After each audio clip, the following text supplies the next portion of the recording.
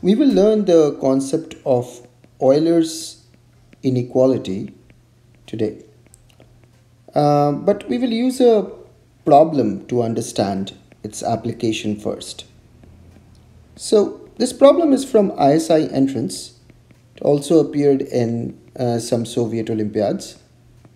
The problem says that uh, it's given circumradius is two times the in radius for a particular triangle. So in a triangle, it's a very special case. This is not always the case. So the circumradius, which I denote by capital R, is equal to 2 times the in radius. What can you say about this particular um, triangle?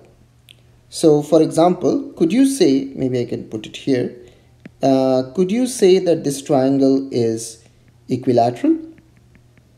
Uh, maybe it is isosceles uh, or maybe it is right angle.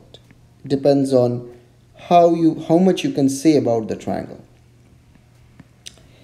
Now, uh, this problem heavily uses the Euler's inequality or the identity and it's part of the Cheenta Math Olympiad and ISI entrance program as well.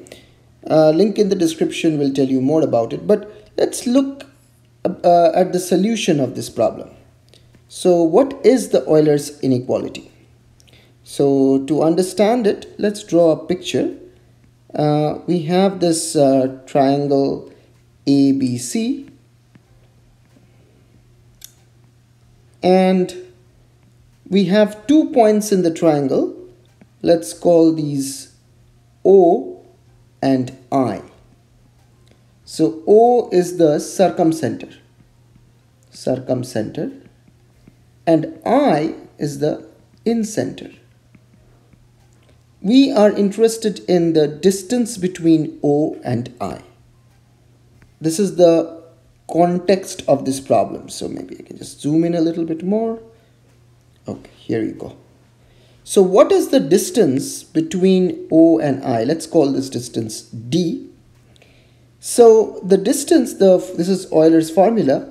The square of the distance has a very nice property. It is square of the circumradius minus 2 times circumradius times in radius. So circumradius squared minus 2 times circumradius circumradius times in radius. So this is the idea. This is the formula. So we need, uh, of course, we need a proof of this.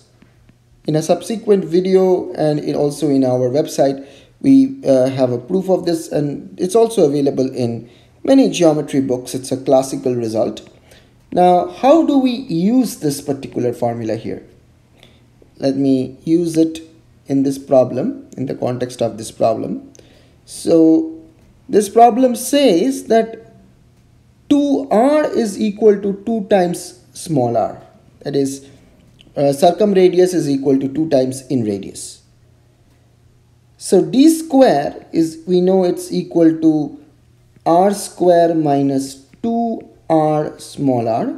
So if we take capital R common, then we have r minus 2r. But since r is equal to 2r, we know that this distance is 0. So this is this uh, difference is 0. So this is r times 0, which is 0.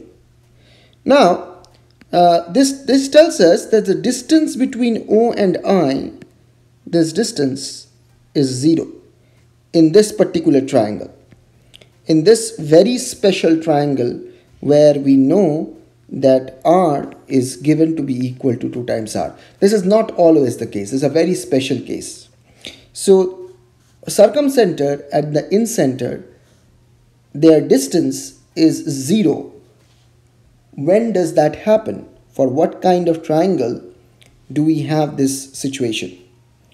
Uh, so I think you will be able to finish off this problem from here.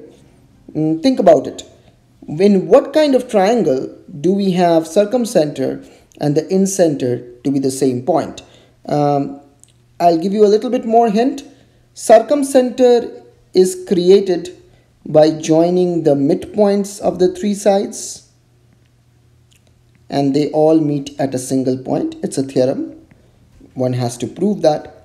And the incenter is created by joining all the angle bisectors. So in this special triangle ABC, the perpendiculars to the sides are also the angle bisectors. So these two lines will be the same. Perpendiculars to the sides, perpendicular bisectors of the sides are same as the angle bisectors. Can you tell me uh, in what kind of triangle this thing happens? and if you if you can please put the answer in the comment in the description and uh, I will see you in the next one keep on doing great mathematics bye